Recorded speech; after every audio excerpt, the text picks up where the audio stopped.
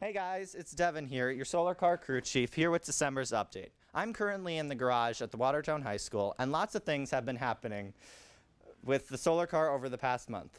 Our build team has been building, getting the frame welded up from our last video, and we plan on having a rolling chassis in our next update that you will see. I'm currently going to go talk to Braden about what Build's been doing. Braden, can you mind telling me what you guys have been working on in Build?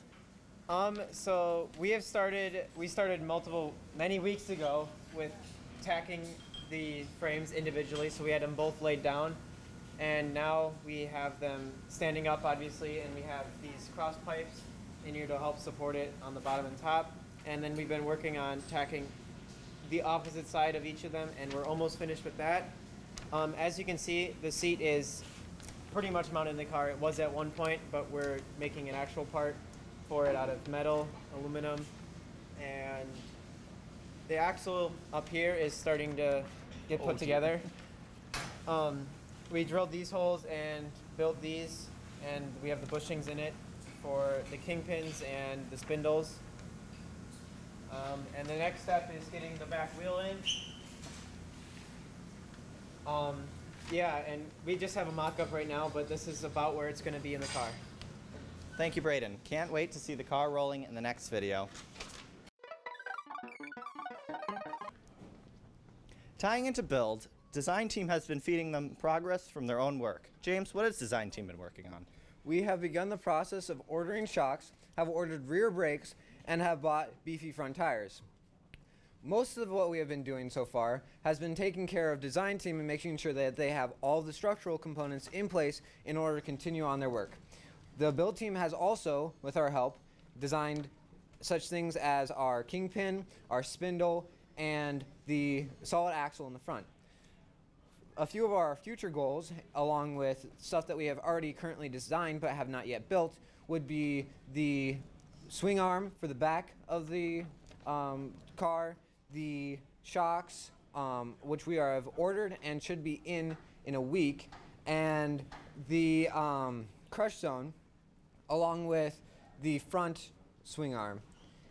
We are also currently working around the battery box size and have begun designing the actual battery box itself because we did not yet know that until about this week um, how big the back of the car had to be in order to fit said battery box. Thank you, James. Next, we will be going to Will to talk about electrical.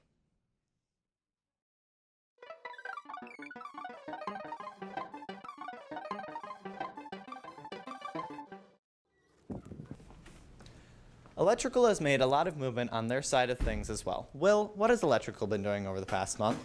Well, Devin, we've actually made a lot of progress uh, this month. So first of all, we have actually bought the batteries for our car. We chose the Samsung 30Q 18650 battery cells, and we bought 500 of them.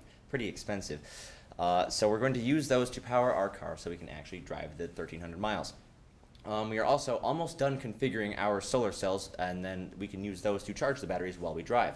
Uh, as a part of that, uh, we've done a lot of research into the lamination process, and we are uh, narrowing down the materials that we are going to use to laminate our panels. Um, further than that, we have also decided on several of the MPPT charge controllers that we are going to buy. That's all. Awesome, Will. Thank you.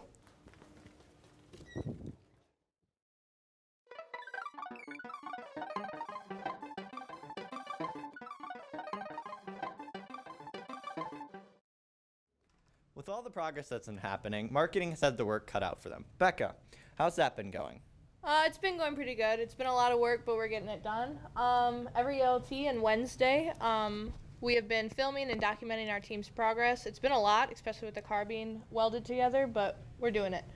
Um, on the topic of the website, of uploading to the website, um, we've been doing quite a lot with it. We've been reaching into like the niche corners of it and updating it. Um, in other exciting marketing news, uh, we the logos are finished. That's fun. Um, for our car and for the team, you saw them earlier in the video. Um, we in the past week we've been working on three YouTube videos at the same time. It's been quite a lot. It's been this one. Um, our our independent filmer Ryder has been working on a video. And then also Candy Blitz. Uh, if you don't know what Candy Blitz is, it's a uh, one day fundraiser where uh, our students go out uh, to the community around Watertown and just go to door, door to door selling uh, chocolate chips in bags. And we got uh, and Quality Chocolates to donate all of those chocolate chips, so that was pretty cool. And then we filmed a baking video at Watertown TV with a representative from CQC. Turned out really well, and you guys should be able to see that already. It should be posted right now. It's not yet, but as soon as this comes out, it will be posted. Um, it's been a large focus. Uh, marketing also made all the stickers for it, so that was pretty cool. We made them on our vinyl printer. Lots of graphic design into it, um, but it was a blast. So yeah, thank you guys. Cool. Thank you, Becca. Watertown Skills USA would like to recognize our November sponsors. It is because of businesses like these that our members are able to bring projects like the solar car to reality.